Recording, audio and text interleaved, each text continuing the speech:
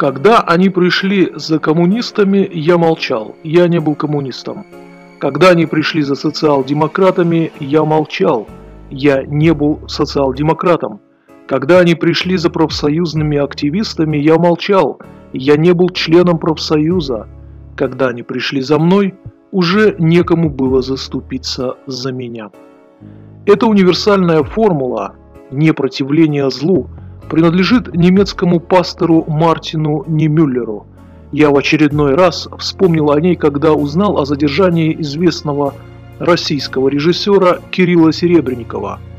Я не стану упрекать Серебренникова в том, что он не выступил против оккупации Крыма российскими войсками и их пособниками – и не буду упрекать его в том, что он был равнодушен к судьбе Олега Сенцова, его коллеги, оказавшегося путинских застенках раньше него самого. Не буду именно потому, что уверен, российские деятели культуры должны были выступить против авторитарной российской власти не ради ограбленной и изнасилованной Украины, и не ради Сенцова, а ради себя и своих детей. Как можно упрекать смертников? Как можно упрекать глупых ограниченных людей, не понимающих, что поддержкой агрессивного неофашистского режима или даже молчанием они подписывают себе и своему творчеству приговор? Таким людям можно только сочувствовать. Как сочувствуешь пассажирам огромного корабля, который тонет на твоих глазах. Среди тех, кому остались считанные минуты, герои и праведники – честные люди и негодяи, смелые и равнодушные, но мы наблюдаем трагедию общей гибели, когда речь идет о России. Я посмотрел комментарии российских деятелей культуры по поводу ареста Серебренникова. Это разные оценки. Есть те, кто в этой мерзости поддерживает Путина, а есть те, кто осуждают власть. Но среди этой второй категории и те, кто поддерживал путинскую агрессивную политику по отношению к Украине. Вот режиссер Марк Захаров, тот самый, кто снял кинопритчу «Убить дракона», а потом поддержал аннексию Крыма. Сейчас он осуждает задержание Серебренникова. Но вот интересно, он и вправду не понимал, что одно вытекает из другого, что неофашизм начинается с агрессии против чужих земель, а завершается поеданием собственных граждан, вначале противников, затем сторонников. Он не смотрел своих фильмов никогда. И этот вопрос можно задать любому тщеславному приспособленцу, сочинившему собственную смерть. Ничего не читали, историю России не учили, а историю Германии. Ах, у вас театр, у вас дети, работа. Так у тех, кого расстреливали при Сталине, тоже было и то, и другое. Театры закрыли, детей в детприемники, а их в лагеря. Тоже мне проблема. Наиболее ретивые защитники сравнивают Кирилла Серебренникова со Всеволодом Мирхольдом, уничтоженным Сталином. Я бы не стал проводить параллели с точки зрения таланта, но провел бы с точки зрения судьбы – Простите меня, конечно, но Мейерхольд был энтузиастом. Он служил большевизму как системе ценностей или отрицания ценностей. В отличие от многих своих современников, у него был простой и ясный выбор – остаться в пока еще цивилизованном мире или вернуться в сталинскую Россию. Он выбрал второе. Понимал ли он тогда, что подписывает себе приговор – Примерно, я думаю, на уровне Марка Захарова. И уничтоженный Сталиным публицист Михаил Кольцов, который описывал показательные процессы, тоже явно не понимал, что станет одной из жертв репрессий, как не понимают и те, кто поддерживают сейчас арест Серебренникова, что режим придет и за ними самими.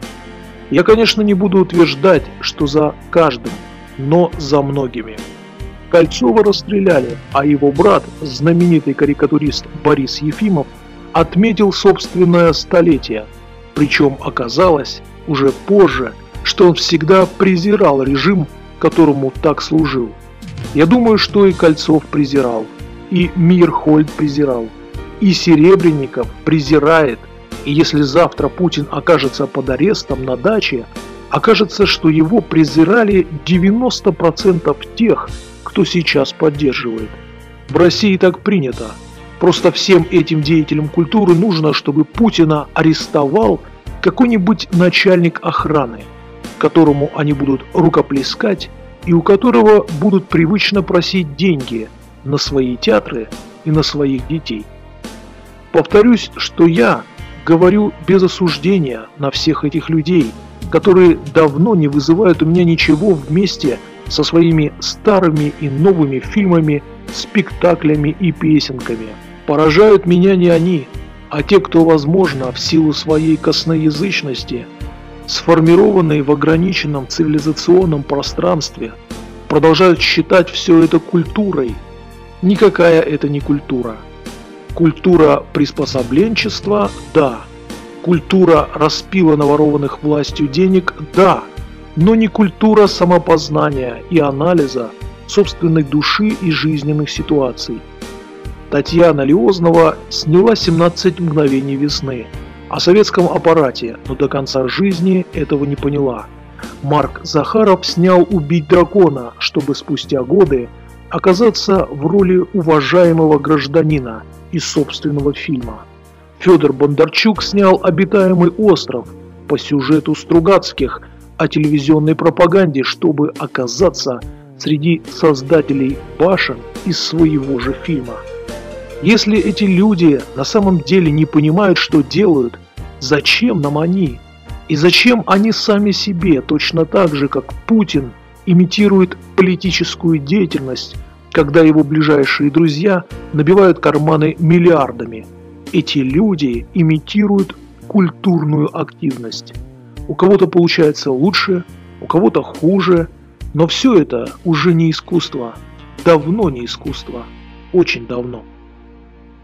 1919 году измученный и исхудавший Александр Блок подходит в петербургском трамвае к Зинаиде Гиппиус, беспощадному критику своего нравственного опустошения, своего сотрудничества с большевиками, своему непротивлению зла, просит о рукопожатии. Вы, говорят, уезжаете?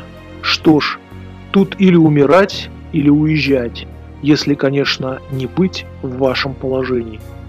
Гиппиус выходит из трамвая. Она умрет в Париже в сентябре 45 -го года. Блока не станет спустя три года после этой встречи. Она эмигрирует и переживет его на 20 с лишним лет. Примерно тогда, в 1917-19 годах, все и закончилось в России. И с культурой, и с людьми.